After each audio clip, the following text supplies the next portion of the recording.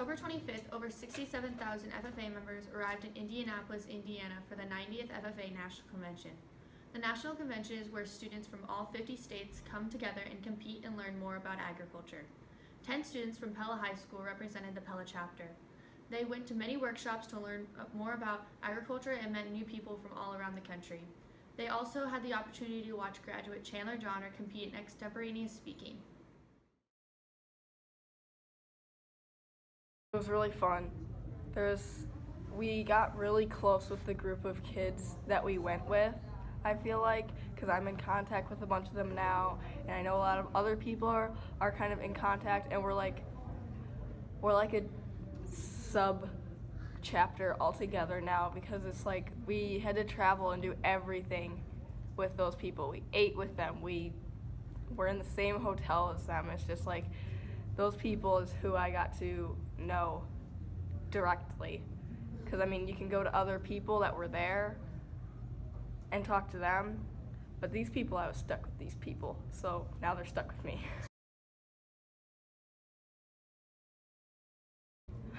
it was probably going to the AQH, AQHYA booth, the American Quarter Horse Youth Association booth, with the National High School Rodeo Association there, and with Cinch Jeans there as well, because they have kind of influenced my life a lot, and really very um, they help influence my passion with horses and rodeo and everything. And I've always, like, it's kind of been a dream of mine to be a part of those different communities and getting to talk to people there that were there. They made me feel like I was already in them.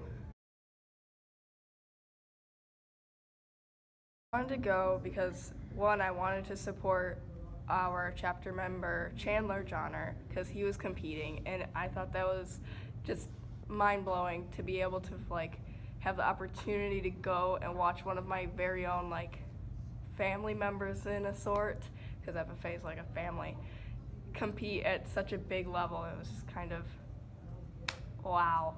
So that was like the main reason I wanted to go to help just support and just be there because it was it's amazing how far you can go. Um, I learned how we can use social media to benefit um, our not only the agriculture industry but also like people in general and how to make social media a more positive place.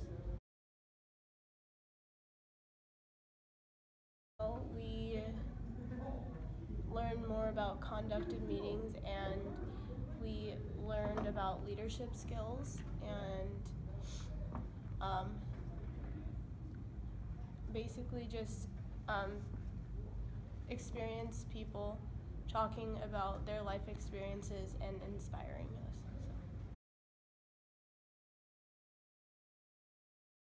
So. Um, I was really inspired by, I know she wasn't a speaker, but Mandy the oh, deaf yeah. singer because I mean because she's deaf and she's a singer and I remember what she said. She said, "Don't let your barriers hold you back." Um, it kind of just felt like a community and there was and it was easy to talk to people because you know you're all in the same boat you all came from a different place. Is all new, and yeah, and you just felt like an overwhelming sense of community, and it was easy to talk to people.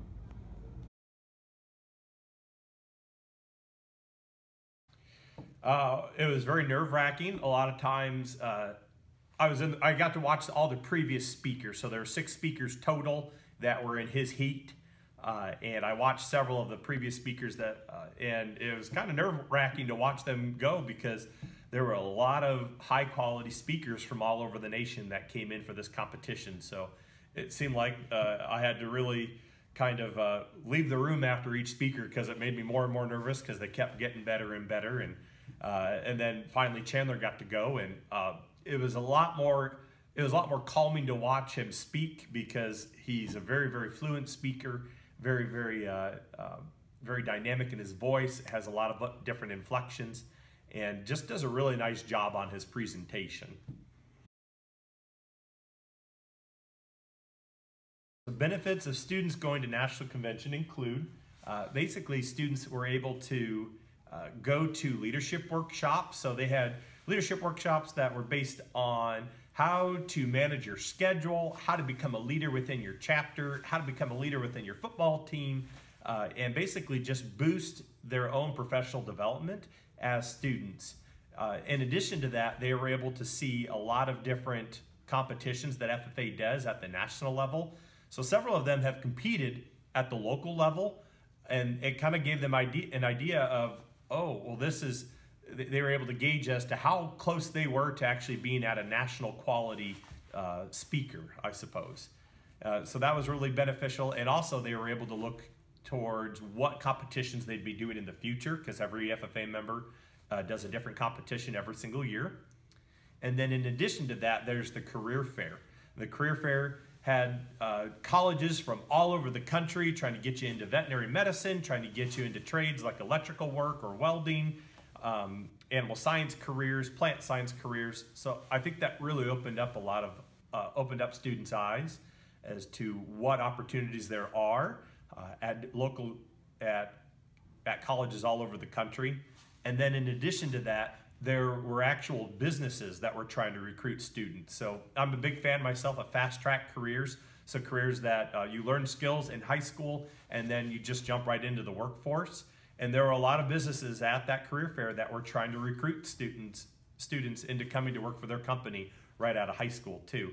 Uh, and this this thing was just huge, just an enormous career fair, probably one of the biggest ones in the country.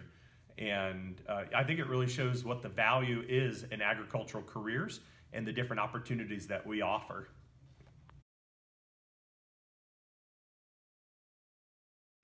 My favorite tour was the popcorn tour, which it was called Not Just Popcorn.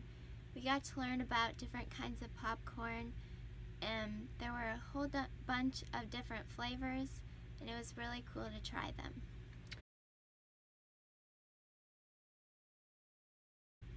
It was really cool to see people from different states like Puerto Rico and Hawaii because you really don't think that FFA happens there, but we got to see what people do and just how big the FFA is.